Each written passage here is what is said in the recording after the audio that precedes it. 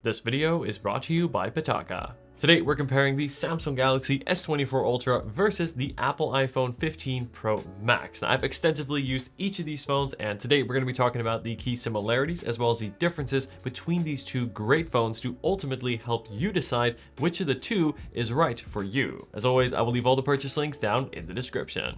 Right, so in terms of price, the S24 Ultra and the 15 Pro Max both start with 256 gigabytes of storage, but the Ultra is, however, $100 more expensive, coming in at $1,299 versus $1,199 on the Pro Max. Never thought I'd see the day. Both phones use a titanium and glass design for a premium look, and this is to match their premium price. Uh, the Galaxy has a more boxy design, where I would say the iPhone has a more smooth and rounded design, which to me looks just a touch more refined. In the hand, I also found the 15 Pro Max to be more comfortable to use and hold. It is slightly lighter, uh, not as tall, and it has rounded corners as opposed to the uh, more sharper corners that you get on the Ultra, which can sometimes dig into your palm during periods of longer use, uh, and you don't get this on the 15 Pro Max. Now, these are both large phones, but thanks to its design, the 15 Pro Max feels just a little bit less large uh, and thus more comfortable to use.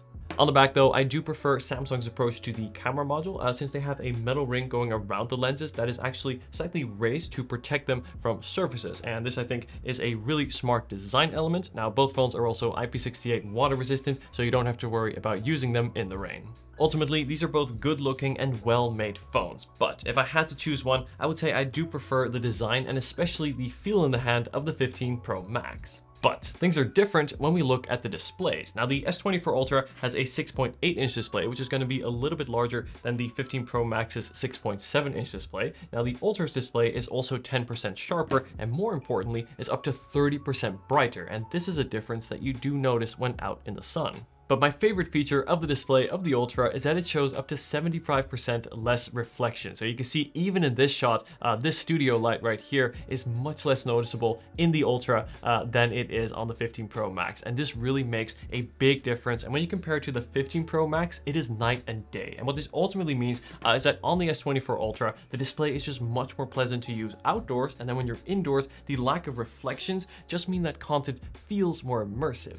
Additionally, the display on the Ultra is also far more scratch resistant, and this I think is great to see since in my opinion, uh, Samsung's previous phones and also the 15 Pro Max for that matter, scratch way too easily. You'll always hear me talk about uh, screen protectors in my videos, but for the first time on the 24 Ultra, uh, you may actually not need one. In fact, so far after a couple weeks of use, I have zero scratches on my display, so this is an upgrade I very much welcome. All this is not to say that the display on the 15 Pro Max is not great. The Pro Max's display is also an OLED, uh, it also has a 1 to 120Hz adaptable refresh rate, and in fact I actually prefer the more true-to-life color profile of the Pro Max's display, and this makes it ideal for photo and video editing. But in all other areas, the display on the S24 Ultra is just even better, and therefore the Ultra takes this category. Something you will only find on the S24 Ultra is the S Pen, which remains to be the best implementation of a stylus on any phone. I don't use it as much uh, as some others do. I do find it to be a great way to quickly take a note on my screen or even write in my calendar. Another big difference between the two phones is the approach to the front camera, where the 15 Pro Max has the dynamic island, which is a great way to quickly see app info at a glance or switch between open apps. But of course, this does take up more screen space than the punch hole camera on the S24 Ultra.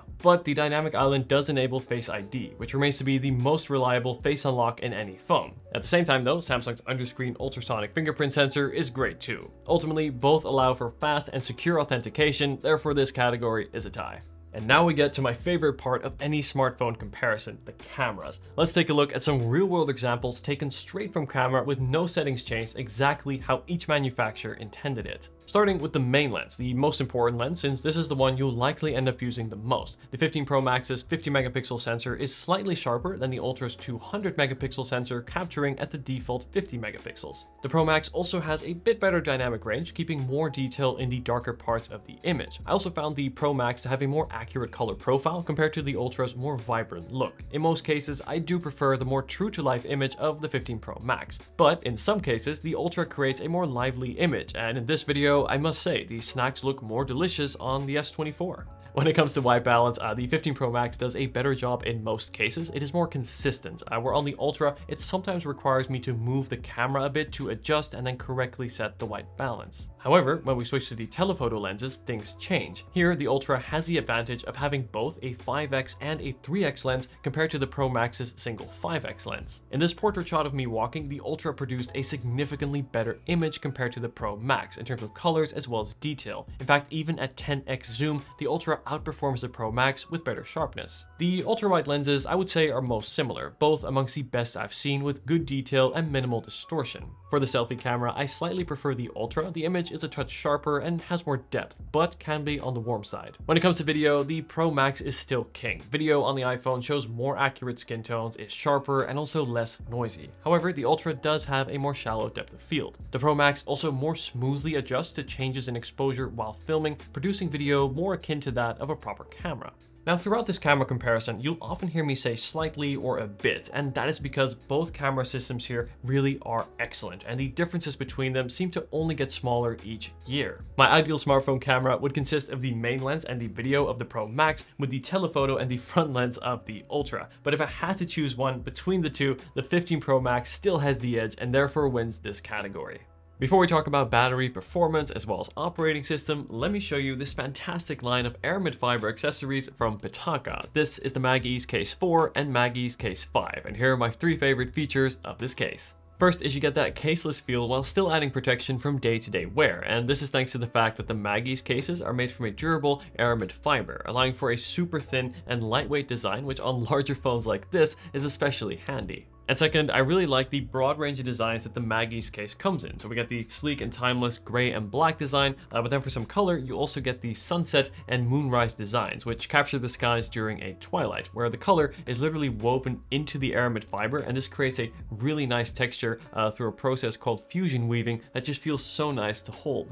And third, the MagEZ cases are also fully MagSafe compatible, and this also means this will bring MagSafe functionality to your Galaxy phone, letting you add accessories like, for example, the MagEZ Grip 2, which of course instantly attaches, uh, will add grip to your phone, and can also fold out to let you watch videos on the go. And I especially like how well this accessory pairs with the design of the case. Pitaka also have the equally stylish Car Mount Pro 2, and this lets you seamlessly mount and charge your phone at up to 15 watts. The MagEZ Case 4 and 5 add slim and stylish protection to your S24 Ultra and your 15 Pro Max, and to learn more, be sure to head to the links in the description. Aside from the display, the other main reason I love using larger phones like this is of course the battery life. And thankfully, both the S24 Ultra and the 15 Pro Max deliver equally strong battery life with around 9 hours of screen on time, easily lasting me all day with around 30 to 40% remaining, something I absolutely love to see. The S24, however, does charge faster, going up to 45 watts compared to 27 watts on the Pro Max, and can also reverse charge things like your Galaxy Buds, which can be very handy on the go. Uh, at the same time though, the Pro Max does have MagSafe, and this will let you magnetically wirelessly charge, and also add accessories like wallets and stands. I'd say both phones offer best-in-class battery life and each has their own unique features when it comes to charging, so both win in this category, making it a tie. For well over $1,000, I expect top-of-the-line performance, and thankfully that is what both phones deliver. So the S24 Ultra comes with Samsung's Snapdragon 8 Gen 3 chip, no matter in which region you buy, unlike the regular S24, uh, and then the 15 Pro Max packs Apple's latest A17 Pro chip. Now, technically speaking, the Pro Max has a little bit more CPU power and then the Ultra has a little bit more GPU power, but what matters is in the real world, these are probably, if not the most powerful phones you can buy today. And no matter what I do from day-to-day -day tasks, video calls, games, photo editing, I never feel like I'm pushing either phone to its limits and feel like there's still plenty of headroom for future updates, features, as well as apps. But using the phones side by side, the experience on the 15 Pro Max is ultimately still more smooth overall. And this is thanks to the fact that on the iPhone, Apple make both the hardware as well as the software, and this allows for a level of unmatched integration and optimization that when you're using the phone, you do feel. Where on the Ultra, while not often, there will still be the occasional stutter. However, I have noticed that apps do stay open for longer on the Ultra, and I think this is because uh, it does have more RAM, but ultimately, thanks to its truly unmatched level of optimization and fluid operation, the Pro Max just takes this category. But how long will these phones last? Well, for the Ultra, Samsung promises an impressive up to 7 years of software support, which is longer than the 6 years I would expect the 15 Pro Max to get. Now, it is worth noting that when it comes to value retentions, iPhones do typically hold their value significantly better than Android phones, including Galaxy phones, meaning you will get more money back if you choose to sell in the future and upgrade. However, the S24 Ultra, with its impressive 7 years of software support, ultimately takes this category. I want to briefly compare the operating systems as this too is a key part of each phone and is also an area where they greatly differ. Android with One UI on the S24 Ultra offers so many features, some truly great and others more gimmicky. Android also has near endless customization options so you can set up your phone to run almost exactly how you want it. And Samsung have also added some really neat AI features. For example, Circle to Search, which lets you look up anything on screen, and in photos, you can generate, fill, move, and remove objects. While not perfect, these forward-thinking features make iOS on the Pro Max feel a bit plain. But what makes iOS so special is its level of polish and ease of use. There's no multiple apps for the same function, uh, no useless bells and whistles taking up storage, and the features that it does offer are generally really well thought out. Quality over quantity iOS also integrates so well into the Apple ecosystem, from iMessage to the Apple Watch and your Mac. Apple does this like no other.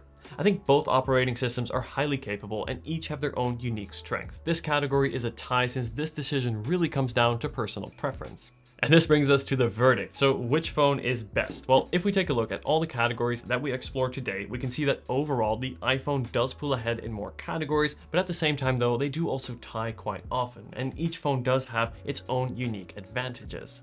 My advice would be to look at the areas we explored today, choose which matter most to you, and then see which phone best aligns with your priorities.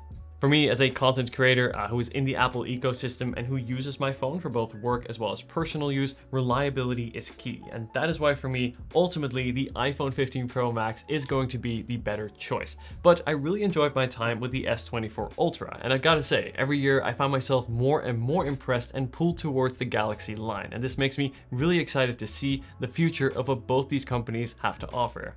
Let me know if you have any questions at all, and be sure to subscribe to see more videos like this in the future. If you haven't seen them yet, I highly recommend watching my Galaxy S24 Ultra and my 15 Pro Max first things to do videos to help you get the most out of these great phones. Thank you so much for watching, and I'll see you in the next video. Take care.